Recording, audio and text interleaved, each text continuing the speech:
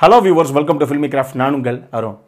இந்த எபிசோடில் நான் பார்க்க போகிற படம் ரெண்டாயிரத்தி பத்தில் ஒரு கெனடியன் த்ரில்லர் படமாக வெளியான செவன் டேஸ் இப்போ அந்த படத்துடைய ஒன்லைனர் என்ன அப்படின்னு நம்ம பார்த்தலாம் எட்டே வயசு நிரம்பிய தன்னுடைய ஒரே ஆசை மகள்.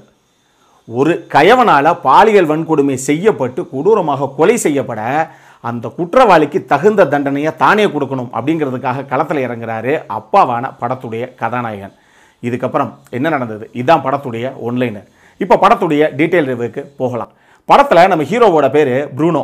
இவர் பேசிக்காக ஒரு டாக்டர் குறிப்பாக சர்ஜன் இவருக்கு ஒரு ஒய்ஃபு எட்டு வயசில் அழகான ஜாஸ்மின் அப்படின்னு சொல்லி ஒரு பொன் குழந்தை. படத்துடைய ஆரம்பத்திலேயே ஒரு நபரை காமிக்கிறாங்க. அவர் டிடெக்டிவ் அப்படிங்கிறது அப்போ நமக்கு தெரியாது. அவருடைய பேர் ஹர்ப் மெர்குரே இவர் அவருடைய வீட்டில் பெட்டில் இருந்து எந்திரிச்சு நேராக சோஃபா பக்கம் அந்த லிவிங் ரூமில் நடந்து போய் சோஃபாவில் உட்காந்து டிவியை போடுறாரு. நம்ம விசிஆர் விசிபி டெக்கெல்லாம் இருக்கும் இல்லையா? அதில் ஒரு கேசட்டை போடுறாரு. அதில் ஒரு சூப்பர் மார்க்கெட்டில் நடந்த ஒரு திருட்டு சம்பவம். சிசிடிவியில் ரெக்கார்டான ஃபுட்டேஜ் அந்த கேசட்டில் ஓடுது. அதில் கடைசியாக சும்மா ஒரு ஐம்பது டாலர் நூறு டாலர் அப்படிங்கிற அளவுக்கு ஒரு சின்ன அமௌண்ட்டை திருட வந்த அந்த திருடன் ஒரு பொண்ணு அவளை துப்பாக்கி முனையில் பிடிச்சி கடைசியாக அந்த பொண்ணை கொலை செஞ்சிடறான் இந்த காசுக்காக. கொன்னுட்டான் ஓடி போயிடுறான்.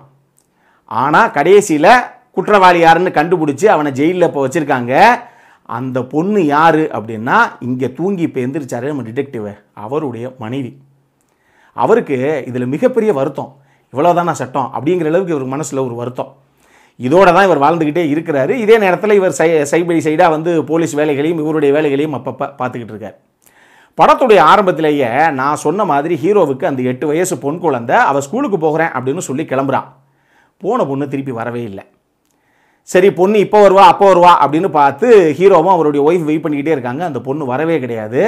இப்போ போலீஸுக்கு கடைசி இன்ஃபார்ம் பண்ணி போலீஸும் வந்துடுது வந்து அவங்க எப்படி நார்மலாக ப்ரொஃபஷனலாக ஒரு கேஸை விசாரிப்பாங்களோ அந்த மாதிரி சரி ஓகே உங்கள் பொண்ணு காணாமல் போகிறதுக்கு முன்னாடி கடைசியாக என்ன ட்ரெஸ் போட்டிருந்தா? அவள் கையில் ஏதாவது பேக் பேக் மாதிரி வச்சுருக்காளா அப்படிங்கிற எல்லா விஷயத்தையும் அந்த போலீஸ் விசாரிக்கிறாங்க. விசாரித்து எல்லா டீட்டெயிலையும் வாங்கி வச்சுக்கிறாங்க. ஹீரோவுக்கும் சரி ஹீரோவுடைய மனைவிக்கும் சரி பெரிய மன அழுத்தம். போன பொன் குழந்தை எங்கே போனானே தெரியல அப்படிங்கிற ஒரு நிலைமை இவங்களுக்கு. கொஞ்ச நேரத்தில் இவங்களுக்கு போலீஸ்கிட்ட இருந்து தகவலும் வருது. இந்த பொன் குழந்தை ஒரு பிணமாக ஒரு இடத்துல கண்டெடுக்கப்பட்டிருக்கா அப்படின்னு சொல்லி கடைசி ஹீரோவும் அந்த ஸ்பாட்டுக்கு போனால் தான் ஆசாசையாக தூக்கி வளர்த்த தங்க தொட்டில் போட்டு தாளாட்டின தன்னுடைய ஒரே மகள் அங்கே பாலியல் வன்கொடுமை செய்யப்பட்டு கொடூரமாக ஒரு கொலகாரனால் ஒரு கயவனால் கொலை செய்யப்பட்டு இவ எப்பயுமே போகிற ஒரு பார்க் ஒன்று இருக்குது அந்த பார்க்குக்கு பின்னாடி இருக்கிற ஒரு புல்வெளி மாதிரி ஒரு இடத்துல அந்த பொண்ணு இறந்து போய் கிடக்குறான் இவர் தான் பொண்ணை தூக்கி மடியில் வச்சு அழுகிறாரு கதறாரு போலீஸை பொறுத்தளவுக்கு விடுங்க நம்ம யாருன்னு பிடிச்சிடலாம் ஆளை அப்படின்னு சொல்கிறாங்க இதில் என்ன மேட்ரு அப்படின்னா நாலு நாள் ஆகிடுது நாலு நாள் கழிச்சு. உங்கள் பொண்ணை கொலை பண்ணவன் இவன் தான் அப்படின்னு சொல்லி ஆண்டனி அப்படின்னு சொல்லி ஒரு ஆளையும் அரெஸ்ட் பண்ணுறாங்க மீடியா ஃபுல்லாக ஒரே பரபரப்பு.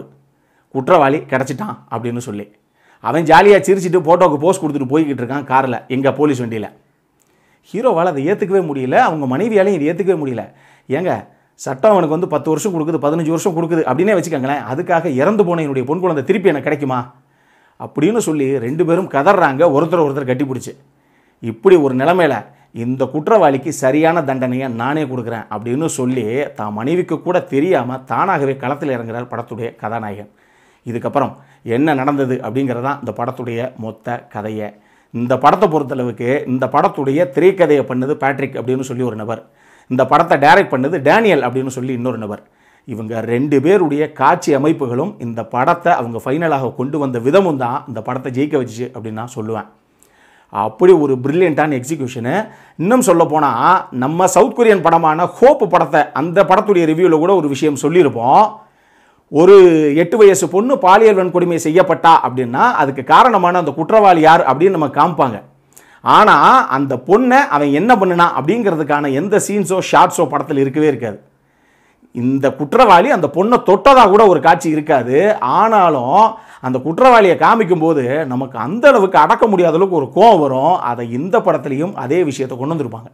அதாவது அந்த குற்றவாளி அந்த பொண்ணை தொட்டதாக பாலியல் வன்கொடுமையை செய்ததாக எந்த ஷார்ட்ஸுமே இந்த படத்தில் இருக்காது. இருந்தாலும் அந்த குற்றவாளியை பார்க்கும்போதெல்லாம் ஒரு பேரண்ட்ஸாக அதுவும் ஒரு பொன் குழந்தையை பெற்ற தாயோ தகப்பனோ அவங்களுக்கெல்லாம் கோபம் அடக்க முடியாத அளவுக்கு இந்த வில்லன் மேலே நமக்கு ஒரு விஷயம் வரும். அதுதான் அந்த கதாபாத்திர வடிவமைப்புடைய வெற்றியை அவ்வளவு சூப்பராக பண்ணியிருப்பாங்க அதை. ரெண்டாவது இந்த படத்தில் எனக்கு ரொம்ப ரொம்ப பிடிச்ச விஷயம் என்ன அப்படின்னா ஹீரோவாக அந்த ப்ரூனோ அப்படிங்கிற அந்த கதாபாத்திரத்தை டாக்டர் கதாபாத்திரத்தை ப்ளே பண்ண கிளாடுடைய பர்ஃபார்மன்ஸ் ஆகட்டும். இந்த வில்லன் ஆந்தனி அந்த ரோலை ஏற்று நடித்த மார்ட்டின் அப்படிங்கிற அந்த நடிகருடைய பர்ஃபார்மன்ஸும் சரி ரெண்டு பேருமே டாப் நாச்சான ஒரு பர்ஃபார்மன்ஸு வில்லனுடைய பர்ஃபார்மன்ஸ் எல்லாம் ஹீரோவாது அவருக்கு இருக்கிற அந்த விஷயங்கள் என்ன எவ்வளோ பெரிய மன அழுத்தத்தில் இருக்காரு அவருடைய இழப்புங்கிறது ஈடுகட்ட முடியாத ஒரு விஷயம் அப்படிங்கிறதெல்லாம் அவர் வந்து அங்கங்கே வெளிப்படுத்திக்கிட்டே வருவார்.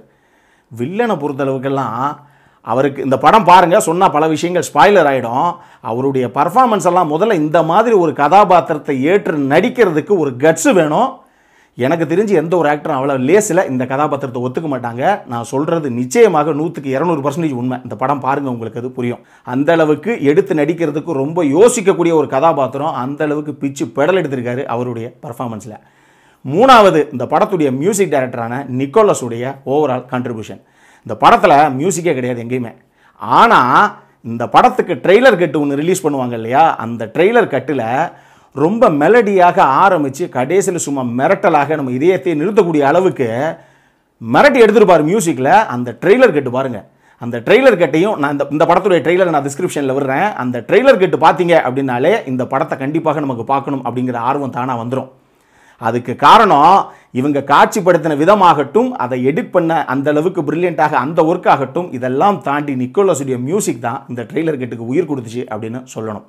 ஆனால் ட்ரெய்லர் கட் பார்க்கும்போது பாஸ் பரபரன்னு பறக்கும் போல தெரியுது படம் அப்படிங்கிற ஒரு ஃபீலை நமக்கு கொடுக்கும். ஆனால் படம் அப்படி கிடையாது. இது உணர்வுகளோடு கடந்து போகக்கூடிய ஒரு படம். அதனால படம் டெட் ஸ்லோ மெலட்ராமாவாகத்தான் இருக்கும். இதை நான் இங்கேயே சொல்லிட்டேன். மைண்டில் வச்சுட்டு பிடிச்சிருந்தா பாருங்கள் அடல் கான்டென்ட்டை பொறுத்தளவுக்கு இந்த படத்துக்கும் ஃபேமிலிக்கும் சம்மந்தமே கிடையாது. அடல் கான்டென்ட் அப்படின்னு நம்ம சொல்கிறதுனா இது என்ன பேசிஸில் சொல்கிறது அப்படிங்கிறது எனக்கு தெரியலை. இந்த படத்தில் அடல் கான்டென்ட்னா அந்த மாதிரி நம்ம நினைக்கிற மாதிரி அடல் கான்டென்ட் கிடையாது. ஆனால் இது வேறு லெவல் அடல் கான்டென்ட் இந்த படத்தில் இருக்குது படம் நெடுகிலும் இருக்குது அதனால் அந்த படம் நீங்கள் நினச்சி கூட பார்க்க முடியாது. ஃபேமிலி ஆடியன்ஸ் யாருமே. மெச்சூர்ட் அடல்ஸாக இருந்ததுன்னா தனியாக உட்காந்து நீங்கள் தாராளமாக பார்த்து ரசிக்கலாம். இந்த படத்திற்கு ஃபில்மி கிராஃப்ட் கொடுக்கக்கூடிய rating seven point five out of ten இப்போ நம்மளுடைய அடுத்த செக்மெண்ட்டான இன்ட்ரெஸ்டிங் ஃபேக்ட்ஸ் அபவுட் த மூவிக்கு போகலாம்.